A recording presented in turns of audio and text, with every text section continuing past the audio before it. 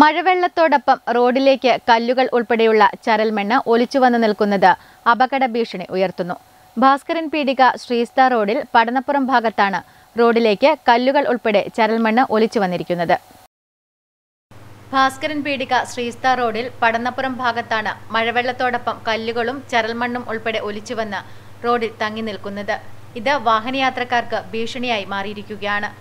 ഓവുചാൽ ഇല്ലാത്തതിനാൽ വെള്ളം റോഡിലൂടെ ഒഴുകിയതാണ്. റോഡിൽ കല്ലുകളും മണ്ണും തങ്ങി നിൽക്കാൻ കാരണമായത്.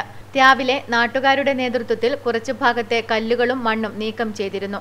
മഴവെള്ളം ശക്തിയായി ഒഴുകിയാൽ വീണ്ടും റോഡിൽ കല്ലും മണ്ണും വന്ന് തങ്ങി നിൽക്കാൻ സാധ്യതയേറെയാണ്.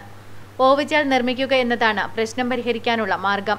ബന്ധപ്പെട്ട അധികൃതർ ഓവുചാൽ നിർമ്മിക്കാനാവശ്യമായ നടപടി സ്വീകരിക്കണമെന്ന് ജനങ്ങൾ ആവശ്യപ്പെടുന്നു. Network news Pilathara.